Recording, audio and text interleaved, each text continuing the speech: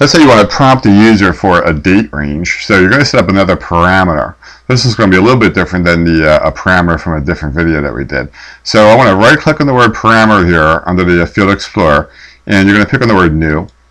And this time I'm going to call it a date selection. That's the name of the parameter field. And you want to make it either a, a date or a date time type. Uh, we'll make it a date time. Now on this parameter, you don't pick a list of values. What you're going to let them do is put in a range. So you're going to come down here and uh, for the prompt text, I'm going to put in uh, enter date range. Yeah, that'll be the actual prompt.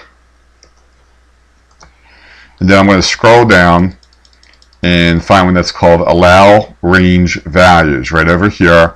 And then we're going to pick on uh, true. All right, let's see what that does for us. Uh, I'm going to click on OK. Notice how we have a new parameter that's called date selection. Now what you want to do is tie that into your selection expert to really actually make it work. So we're going to pick on the selection expert and uh, notice how we already have the criteria in there for the country. So I'm going to pick on new and then we'll pick on the uh, the date, you know, the date field. And we're going to say is equal to and then you pick over here you pick your date parameter. Here we see the date selection. So that's going to prompt the user for the date and then incorporate that into uh, the, the selection criteria. We're going to click on OK. When I click on OK, the prompt is going to come up that the user would see. You see here it says enter date range. That was the prompt text that I changed. And it wants to put the date in as month, day, year, and then because we said it's a date time field, we need to put the time, uh, the time in there as well. So I'm going to work with um, July 1st of 1998 of course, any date range would work. But for the time, I'm just going to type in 00 colon 00 colon 00. Alright? Now for the ending date, oh, by the way, if you had picked just a date field rather than date and time, you wouldn't you wouldn't need to put the date in. I mean, excuse me, you wouldn't need to put the time in. So now I'll, we'll go to July 31st of 1998. Now I want this to go to the end of the day, so I'm going to put in um, 2359 59. You know, that would be like the end of the day.